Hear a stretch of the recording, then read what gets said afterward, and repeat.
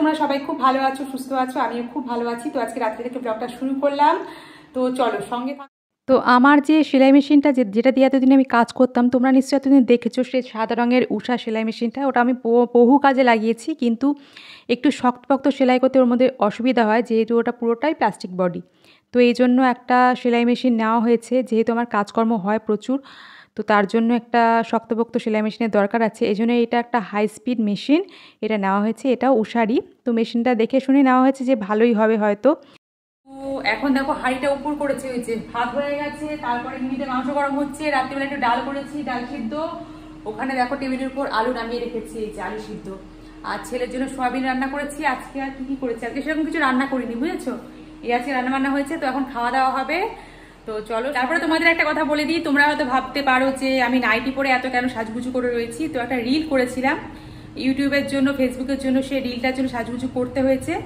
তো চলো, এখন যেহেতু সোশ্যাল মিডিয়াতে আছি, আমাকে মাঝে মাঝে একটু সাজগোজ করতে হয়। তো চলো, রাত্রি হয়ে গেছে খাওয়া দাওয়া করে রাত্রে খাওয়া দাওয়া কমপ্লিট হয়ে গেছে হাজবেন্ড পরে এসেছে হাজবেন্ড এখন খাচ্ছে মানে খাওয়াটাও হয়ে গেছে, সমস্ত কিছু রেডি করে দিয়ে এসেছিলাম। তো যেটা হলো প্রবলেম আমার এই যে মেশিনটা কেনা হয়েছে, তো এটা প্রচণ্ড হাই স্পিডের মেশিন যেটা আমি কন্ট্রোল করতে পারছি না। তো ভাইয়ের মুখে ফোন করেছিলাম, ওকে দিয়ে মানে ও ভিডিও ক্যামেরা অন করে রেখেছিল, তাতে আমি শুয়ে শুতে ভরালাম তারপরে কিছু বোধহয় আমি নিজে কিছু পারিনি, তার জন্য একটুখানি মেশিনটা ডিস্টার্ব করছে, এই জন্য আমার লোক রাখতে হবে। এখন অব্দি সেলাই টেলাই আমি কিচ্ছু করিনি, জানো তো? আর যেটা হলো এই যে, এই কাপড়টা এখন কাটিং করব, এই জন্য এখানে রেডি করে রেখেছি। আর কি দেখাবো তোমাদেরকে? এই যে পিছনটাও দেখো, এখন এলোমেলো হয়ে রয়েছে, প্রচুর জামা কাপড় আছে। আর এখানে দেখো একটা জুয়েলারি একটা নতুন হার এটা এই যে এই হারটার অর্ডার ছিল। আগামীকাল এটা ডেলিভারি যাবে। তো এটা এখন রেডি করলাম। তো প্রচুর এখন কাটিং ফাটিং অনেকগুলো কাজ আছে। তো আমি এখন আপাতত কাজে বসছি। এখন আর ক্যামেরা অন করছি না। তোমাদের সাথে আবার আগামীকাল সকালবেলা দেখা হবে। ততক্ষণের জন্য বন্ধুরা গুড নাইট টাটা। তো এটা হলো হলুদ রঙের একটা বেনারসি কাপড়। তো এটা দিয়ে ড্রেস তৈরির অর্ডার আছে। রাধাকৃষ্ণের ড্রেস আছে। তারপরে গোপালের ড্রেস তো সেটাই আমি এখন কাটিং করে নিচ্ছি। এখন অনেকটাই কাজ আমি শিখে গেছি। যেহেতু রেগুলার এগুলো করছি। তো চলো সঙ্গে থাকো। আজকে আমার ক্লাস আছে সেলাইয়ের ক্লাস তো মাসে হলো আটটা ক্লাস তার মধ্যে আমার ছটা হয়তো অ্যাটেন্ড করি আর দুটো অ্যাটেন্ড করি না। আর জন্মাষ্টমী পুজোর মাসে তো আমি ম্যাক্সিমাম ক্লাসই অ্যাটেন্ড করিনি।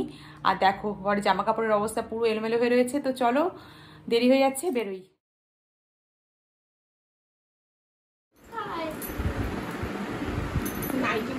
আমরা এখন সেলাই করছি ঠিক আছে?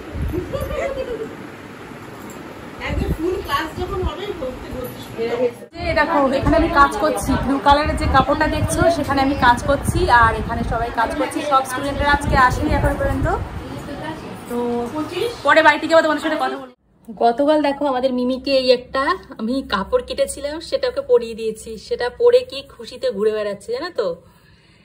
আর এই যে এক বালতি জামা কাপড় এখানে রয়েছে।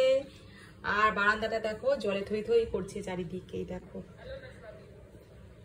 আমাদের চেরি ম্যাক্সিরা তো ছাদে যেতে পারছে না এখানেই সব কিছু করছে। তারপরে সকালবেলা আমাকে ভালো করে ধোয়াতে হচ্ছে।